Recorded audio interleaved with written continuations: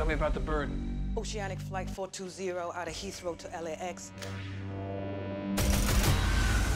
Do we know how many hijackers? Five. Do they have any demands? No.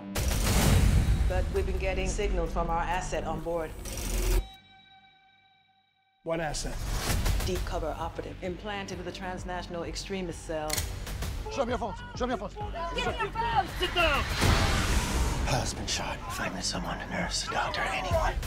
Who's that woman with the pilot? She's keeping him alive. We will need him. I'm Interpol. Oh, I like undercover. You doing okay? Yeah. Come on. We just give him time. This is not the beginning of some heroic story. We're climbing too high, too fast. In 10 minutes, our birds will be in a position to end this.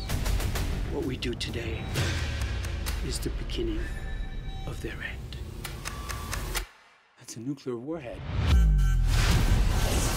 Firmly confirmed. Do you have control of the plane? We don't have enough fuel, sir. Can you really fly this thing? 97 minutes of fuel time remaining. Buckle up.